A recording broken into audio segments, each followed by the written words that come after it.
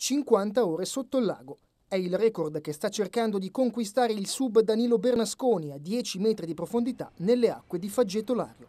Il conto alla rovescia per la fine dell'impresa terminerà poco prima delle 11 di domani mattina e nelle 50 ore di immersione Bernasconi fa tutto sott'acqua, mangia, beve, riposa, fa stretching e per passare il tempo gioca a dama e chiacchiera con altri subacquei che si immergono a rotazione per tenergli compagnia. L'obiettivo, come detto, è trascorrere 50 ore a 10 metri di profondità adagiato su una piattaforma al lido di Faggetto Lario. In superficie anche uno staff medico che controlla costantemente le condizioni di salute del subacqueo.